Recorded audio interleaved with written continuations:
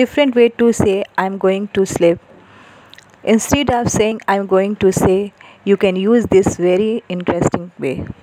First word i have i'm off to bed is very very impressive word to say i'm going to sleep. Another one i have i'm going to bed.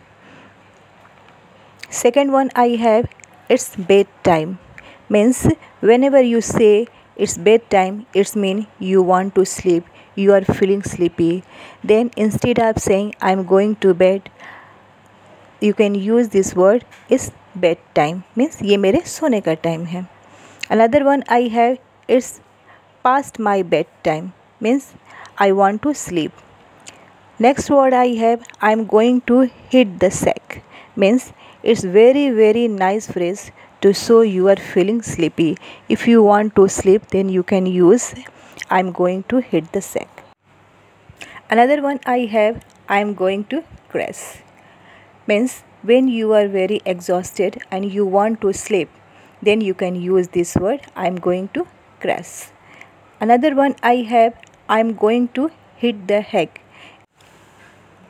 Another one is very very interesting word to say i'm going to sleep I think I will retire for the night means I want to sleep.